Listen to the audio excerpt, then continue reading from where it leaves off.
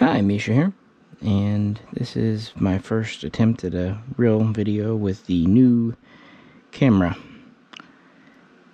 But things are already not going to plan. For one, my main light up here burned out today for no reason. So I'm going to have to basically break a six month long refusal to go into any businesses tomorrow to pick up new bulbs and other things. I've been a few places while all this has been going down, but things like doctor's offices and whatnot. So, oh well, made it over six months. I gotta admit, it wasn't bad. It's kind of nice. Well, I wanted to do a video on the Japanese Navy's second aircraft carrier ever and first fleet carrier. Now, we've talked about the Akagi before. When I did a video with these two, this is her not sister ship but companionship, Kaga. And we used this model before from De Agostini. Now, Kaga here is from Eaglemoss. She's a 1 1100 scale diecast. And Akagi up here is a nice one. It's from De Agostini and it's 1 1250 scale diecast. But I thought it would be neat to have an Eaglemoss to see how they would do the Akagi. And this was actually, I think, the second issue in their series. And they're kind of hard to get. And I ordered one back in June. And I waited patiently. See, I can't be patient. And it got lost in the mail. To the seller's credit, he not only got me a replacement out, I notified him last Friday, and he's in China, of the issue. Not only did he get me a replacement, he sent it express DHL, which got here in under a week. And he had to have it specially sent from Japan. So that was great. But, as you see, it's not exactly an Eaglemoss. And so I ended up being introduced today to a new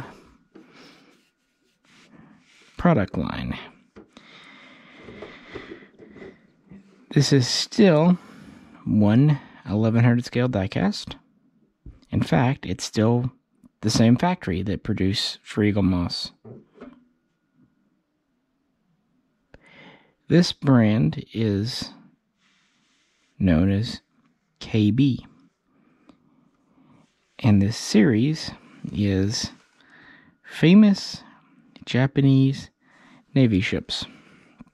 And the packaging comes complete with chrysanthemum, which is kind of neat. The model is uh, the same scale. I mean, this is the Eaglemoss model, the same molds and everything. But as you see, it comes on a much larger base. It actually screws in just like the Eaglemoss. So you could put it on an Eaglemoss stand if you so chose. But this little plinth is neat. It goes to the very end, so you're not going to knock the edges. It also has more information than the Eaglemoss, including the scale It's the same year, 1942. It does come with aircraft on the deck. And as you saw, it even comes with a lid. Uh, kind of a plexiglass top. Which I really like. The only downside is now I kind of wish all my models had this big base and plexiglass top because that would make them virtually cat proof. And wouldn't that be a wonderful world? Now, it did not come with a magazine like the Eaglemoss, but since my wife doesn't read Japanese and since they're not brailled, the magazines, while neat, aren't really of a lot of personal interest. In other words, while I was a little surprised and didn't quite understand what I was opening today, I'm not at all unhappy, and I'd like to learn more about this brand, KB. I did confirm that it's the same Chinese factory producing these that did them from Eaglemoss, And it seems like Eaglemoss is done with their Warships of the World collection and have been for a while. They did actually 82 issues, although the, the numbers are actually 1 through 80. There's 1A, 1B, 1C, and then they go to 2, which was a Akagi. And as far as I've seen so far, and I could be very wrong on this, the KB are picking back up. They have done Yamato, which I will also show you because I was happy enough with this that I just immediately ordered Yamato. They also have Nagato, which I would have ordered, but I have an Eaglemoss Nagato now. And now they have Akagi, which would have been the early issues as well. So it seems like they might be reissuing the Eaglemoss. Now the thing is, are they going to do all of them? The destroyers, the submarines, or just the big ships? And if they do all of them, would they put them on these big plinths with these big covers? Or is this just something they maybe do for the big carriers and battleships? And maybe they'll do the um, the bases more the Eaglemoss style for the smaller ships. I don't know, but I'm interested to see. So, yeah, I thought we would compare this, the Eaglemoss slash KB, with the De Agostini, and go over the history of Akagi again. Why not? And also, we're giving this new camera a spin a little earlier than I had originally anticipated, but that's because of the burned out light, and I figured this one had better light reception. I know Jay's very enamored with the video quality, so we'll see how it does. But with that, yeah, let's talk about the Akagi, formerly of the Amagi class. And I guess you could say it really is Akagi class. Uh, one thing I'm feeling here, it's kind of neat. The stand has little holes already drilled, so theoretically you could swap stands between the models if you needed to, if one broke or something. Yeah, I really do like it so far. Heavy too, but you'd expect. this ship was laid down in December of 1920 as a battle cruiser as part of Japan's new 8 8 plan eight ships, eight cruisers to try to update after World War II. Oh, excuse me, World War One. However, in 1923, following the Washington Naval Treaty, it was reclassified as an experimental aircraft carrier. There were four Amagis, cruisers, battle cruisers, as I should say, laid down Amagi herself and Akagi were selected to be turned into carriers, and the two other ships that were less far along were just scrapped. Unfortunately, Amagi was destroyed during the Great Kanto earthquake, which is actually where we ended up with Kaga, which was a Tosa battleship originally. So she was reclassified. She was launched in 1925 and finally commissioned into service in 1927. This is a big ship. It is over 855 feet long.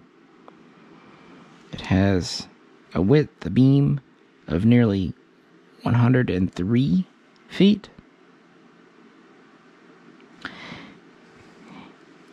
It weighs 36 and a half thousand tons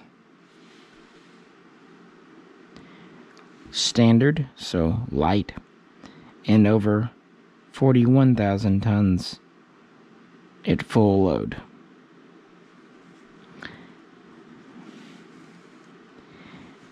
And since it was originally laid down as a battle cruiser, it had a speed of up to 31 and a half knots. Not bad for a carrier of its day, although later carriers like Soryu and Hiryu would even best that.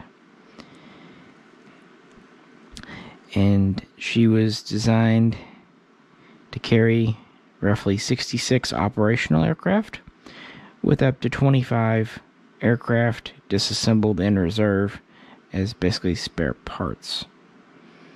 And her configuration would change quite a bit over her service with a major refit in the late 30s. Originally, she would actually look very similar to uh, Kaga here with these three flight decks. Two were for taking off, the two short ones, and the top one was for landing. This is uh, Kaga circa, I think it was 1933. I forget this model, but this is the, the original configuration. And notice it actually has guns, naval guns, and uh, Akagi too would have guns in the beginning because at that time designers really just weren't sure, and military planners really just weren't sure about these new-fangled carriers. And it would go from that to essentially leading the attack at Pearl Harbor and Midway, and then being sunk at Midway. So it was in World War II, only about half a year, but of course it had a long service during the 1930s. So, with that, let's rewind back to the waning days of World War One. Well, at the end of World War One, Japan, the Navy, really wanted to uh, update its forces, having a total of eight modern battle cruisers and eight modern battle ships, with the difference basically being battle cruiser, faster, battleship, better arm, armor. Sorry. The uh, Tosas would be the new battleships. In the Amagis, they laid down four of them. They planned for four and laid them down. Would be the new battle cruisers. And Akaga Akagi, excuse me, was the second one laid down.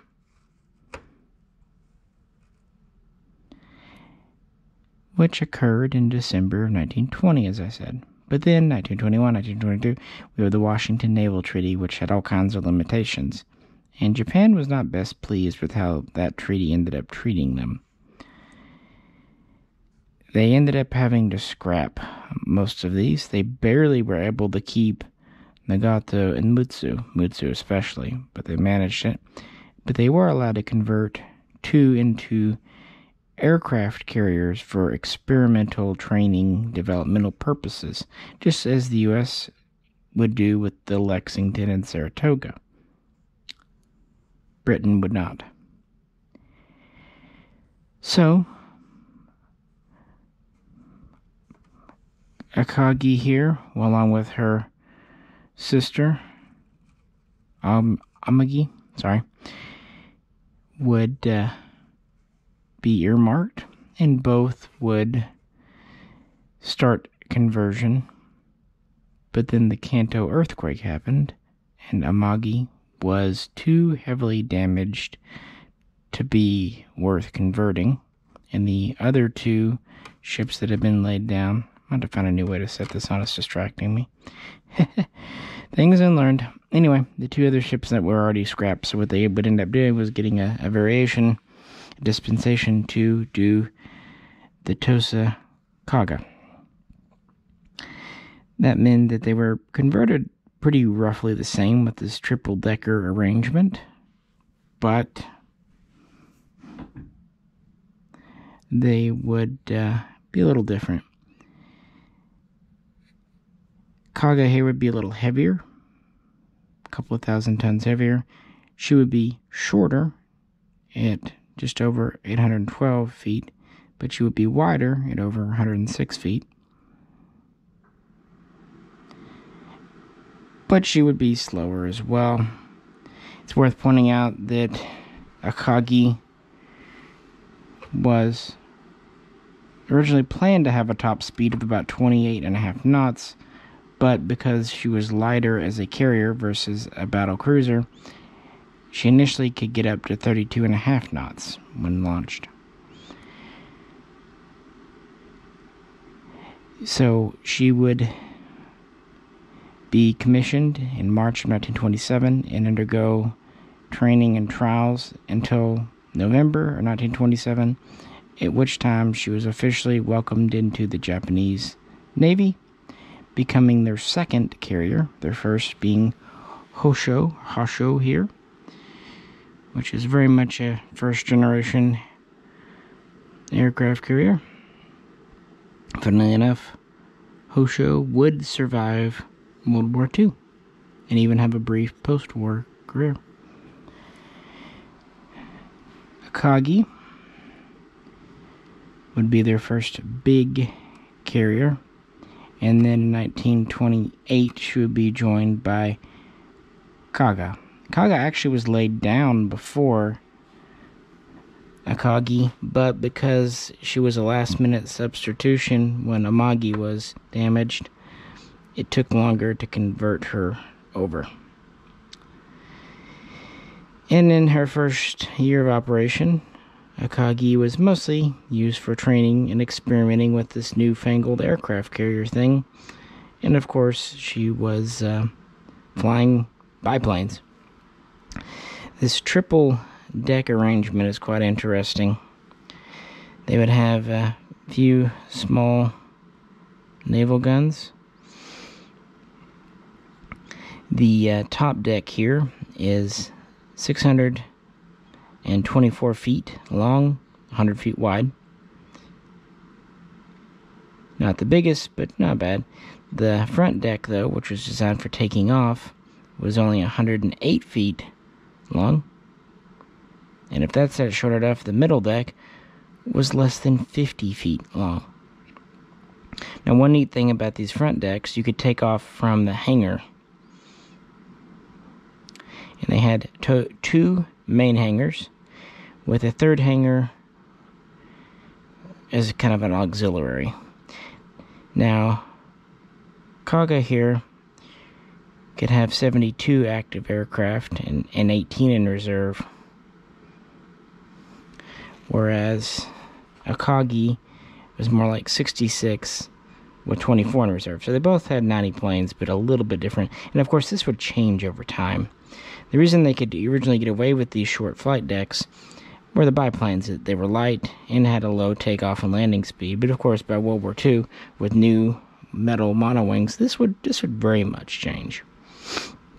But they were they were learning and this shows you that Japan was one of the early advocates and saw the advantage in uh, carrier warfare, which is why coming into the World War II period, you, it's pretty much Japan, the U.S., and Britain who have anything like a carrier force. We won't consider Béarn from France. Akagi looking very much like Kaga here at the end of 1928, got a new captain, probably no one you've ever heard of, Isoroku Yamamoto, who would uh, captain her until November of 1929, so a full tour.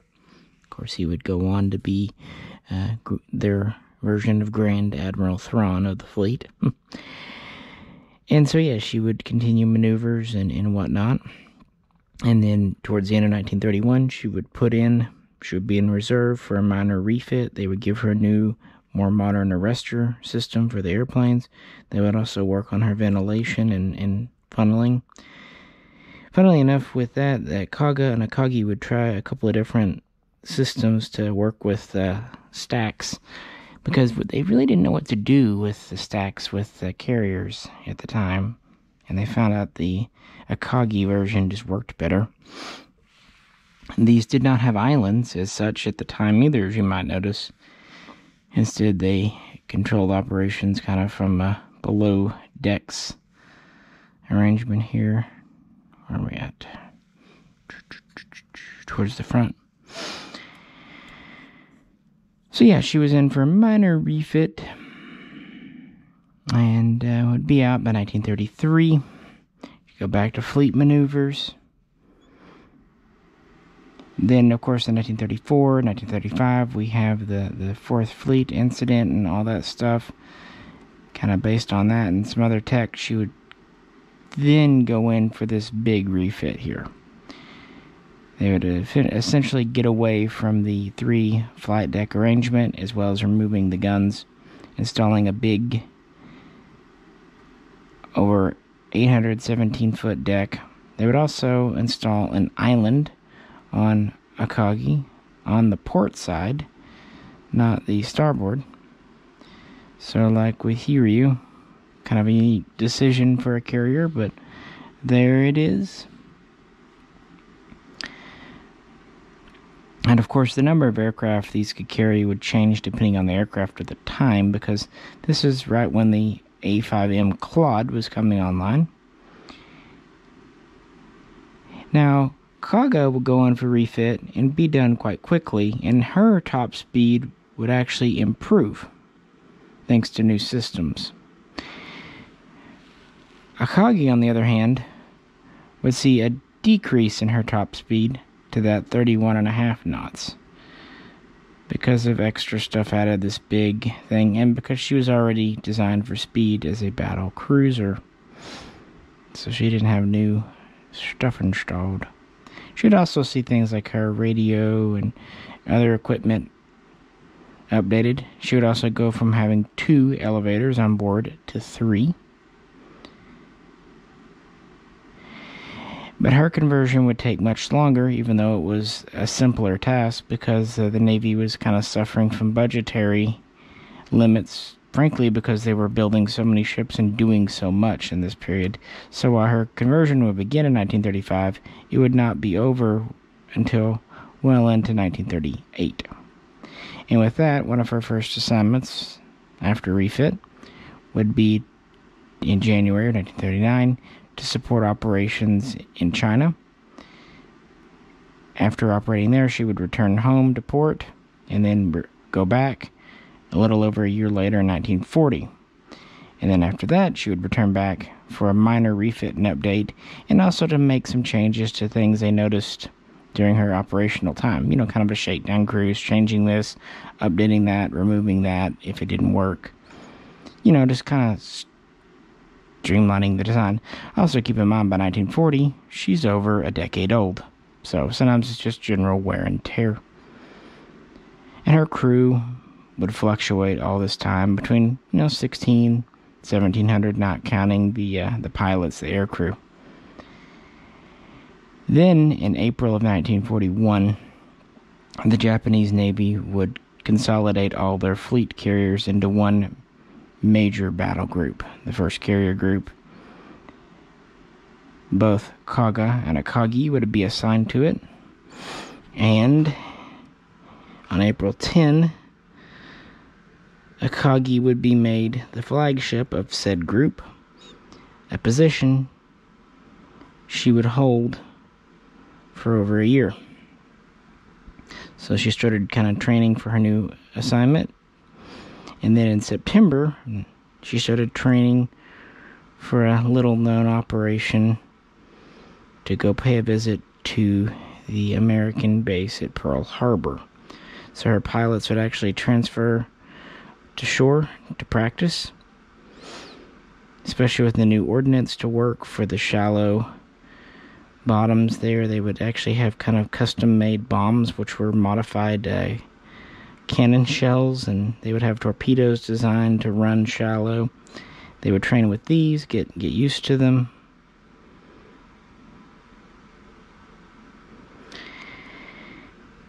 And then on November 22nd, she would meet up with the rest of the fleet.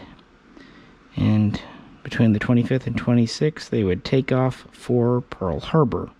And the reason that it took them so long to get there they took a very winding, circuitous route to kind of throw off any observation and also to try to avoid any notice by military or commercial traffic to try to make it as much of a sneak attack as, as they could.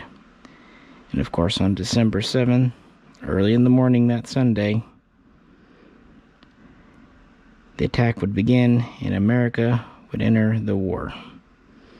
And Japan would make a very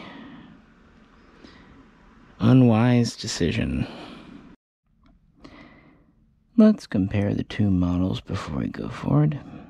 As I said in the beginning, the KB Eaglemoss type here is a, a 1 1100 scale, and the De Agostini is the more common one 1250 scale.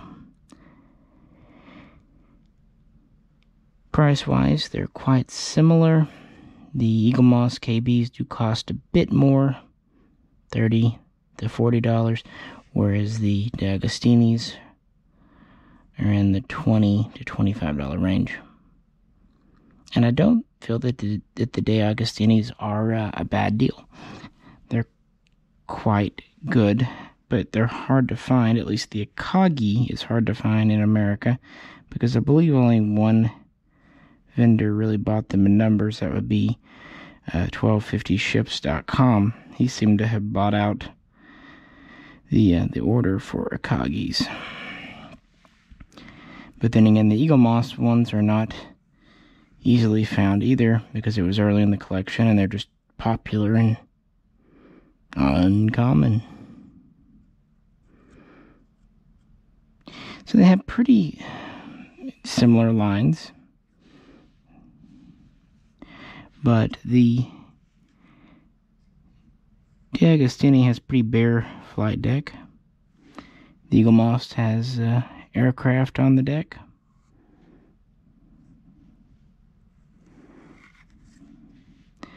And what I like about the Eaglemoss type or the KB type, this here, the wooden deck, actually has texturing, like planking. It's not just uh, kind of a painted on or a sticker, like here. It actually has something to feel. And it has a little more detailing, like with the barriers here. The uh, island is a little more detailed. A little more detailing under the uh, deck where the hangar would be.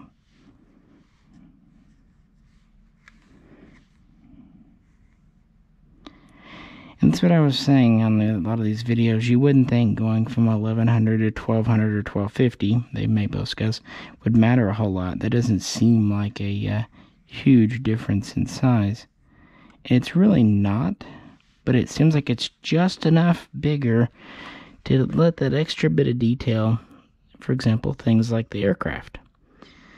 Just, it's just, I don't know, it feels like a good scale. Maybe uh, 1000 would be even better but uh, I like this 1100. I mean, this this thing is several inches long. And just, it feels very uh, sturdy. I know, I'm impressed. And like I said, here's uh, Kaga and Hosho one more time. Hosho's so neat, little aircraft carrier.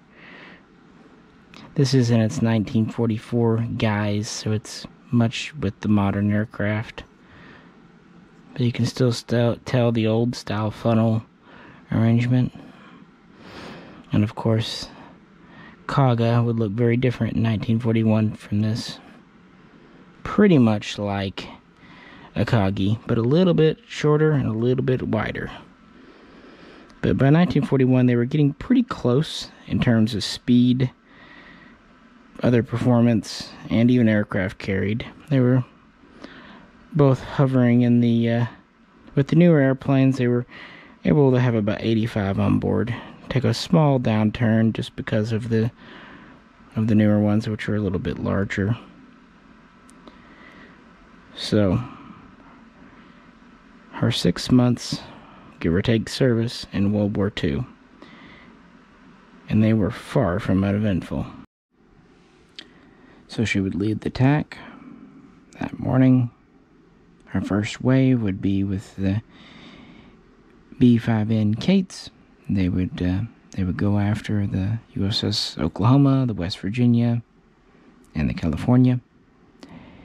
Her second wave would be with the D3As, the Vals, and they would target the Pennsylvania and the Maryland. And not to be outdone, zero fighters from Akagi would strafe airfields and otherwise just be a nuisance, and they would attack a few other ships along the way. And she would only lose one or two airplanes.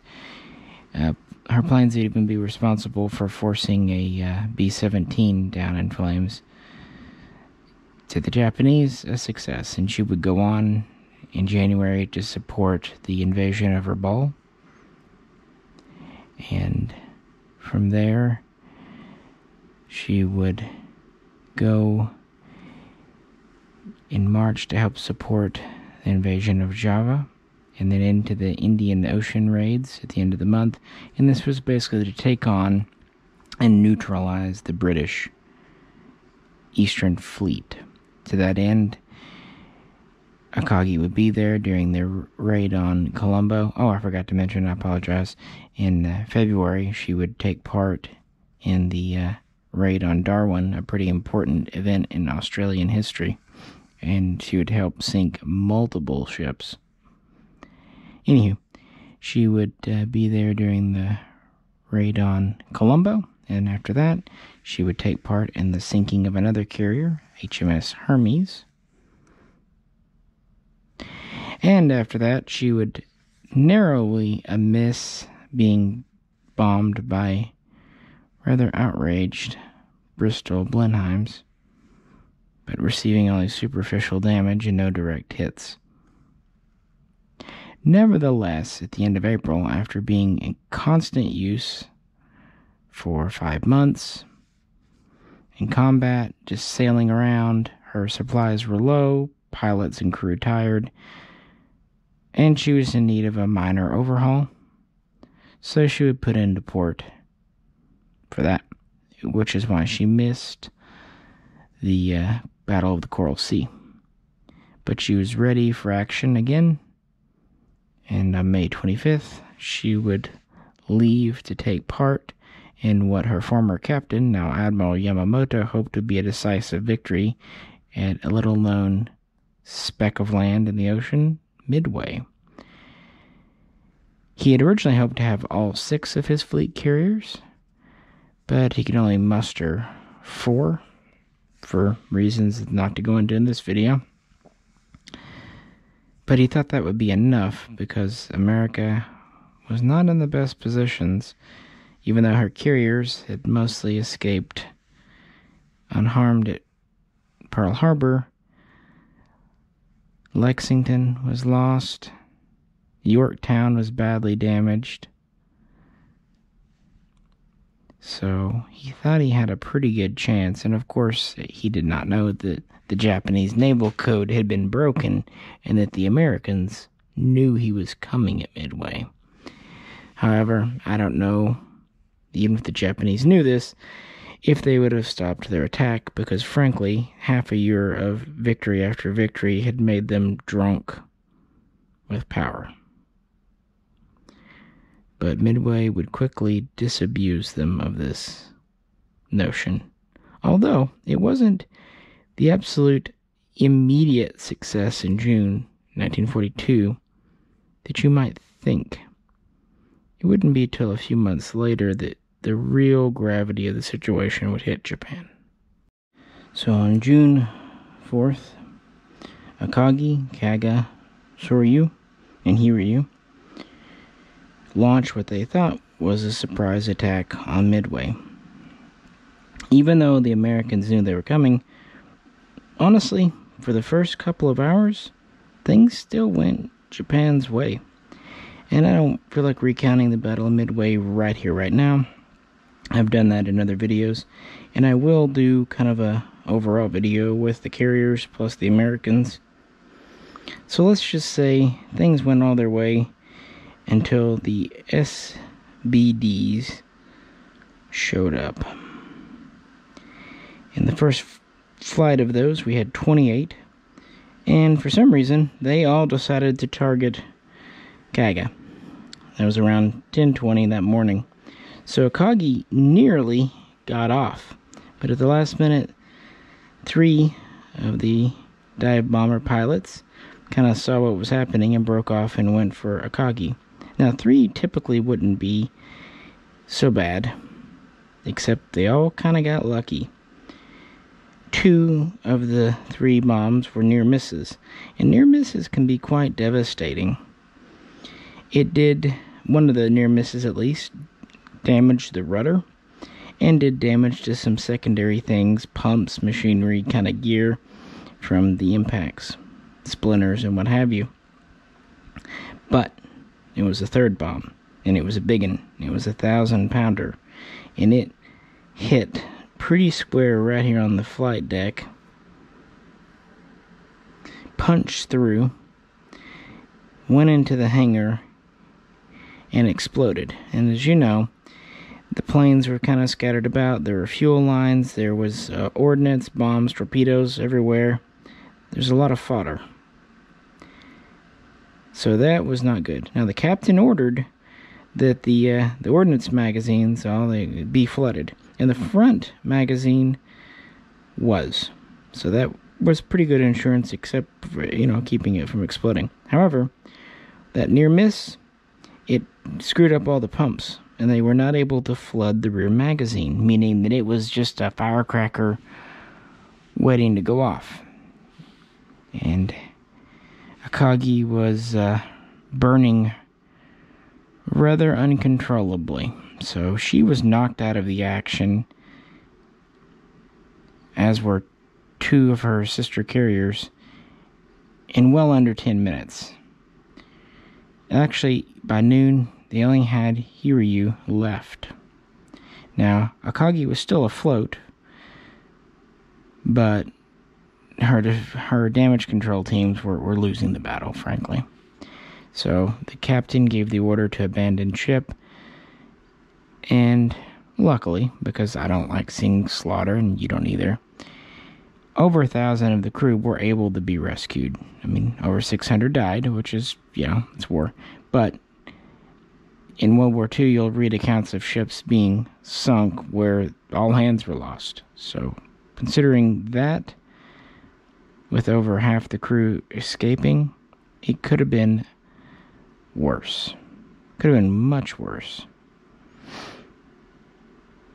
Like I said, her kind of fellow older ship, Kaga, would have the exact same fate as her, with being hit over, well, being targeted by two dozen dive bombers and hit by a lot of bombs.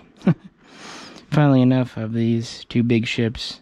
Hosho here, who was at, you know, who was around, but in a secondary kind of second line support role, would uh, return from Midway and other battles, and would serve to the end of the war, and then even after the war briefly. She was a whole other kettle of fish. So, yeah, I just thought I would do this video revisiting Akagi and sharing this new, kind of somewhat new brand, KB. It really is just Eaglemoss, at least the factory that did them. But you see that a lot. Look how many companies have used the uh, IXO tooling. De Agostini, Atlas Editions, Warmaster, Slido. That's kind of how the model world works. And I do like how they did the stand. Now, I will say this. It would be hard if you had 80. If all the Eaglemoss, for example, were this size. It would be very hard to uh, have shelf space for something this big. But for kind of centerpiece collections, like this or Yamato, or an Essex carrier, it really brings attention. So if you wanted to do a fleet setup with like the flagships, this sets it apart. Now, I do really like the uh, plexiglass uh, top. I wish all models came with something like this. Keeps the dust off, keeps the pets away, and just keeps them from getting knocked over and accidentally damaged. That's a great idea. So yeah, I'm gonna be seeing what else might come out from this brand, and maybe if it, we'll even see some things that Eaglemoss didn't do. It's possible. Alrighty, guys. With that, I appreciate you tuning in. As always, if you could like, share, and subscribe. And if you have any comments, please do post them below. This is Misha. Catch you very soon. Next time.